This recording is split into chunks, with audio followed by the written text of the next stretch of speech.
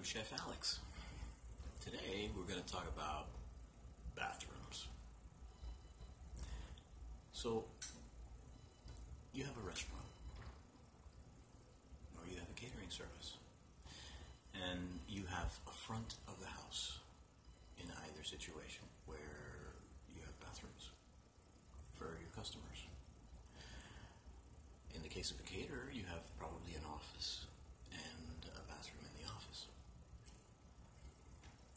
There are some things that you need to always remember uh, in bathrooms, and that is sanitize, sanitize, sanitize.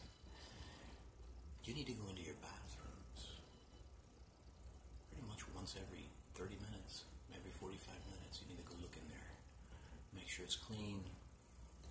Uh, I'm not saying you're the one that's going to do it, but you got to have somebody go in there and take a look, you know?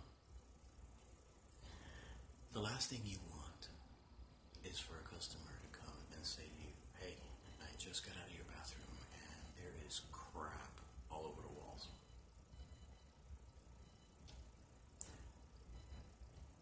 Yeah. So, think about this.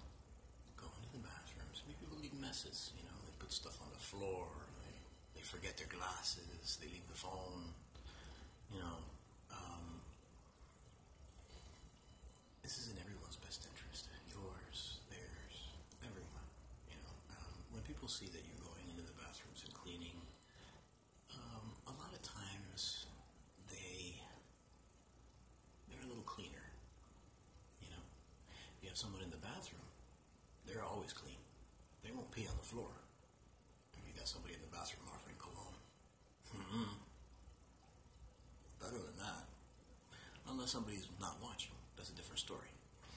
And then you go into your men's bathroom, and there's always pee on the floor. So, guys, you got bad aim, and you're not that long, so you can point. As far as the ladies' bathroom, well, you guys could be just as gross. I don't even want to talk about that. so, let's just say that, in general, okay, not anyone in specific, but in general, people are relatively clean.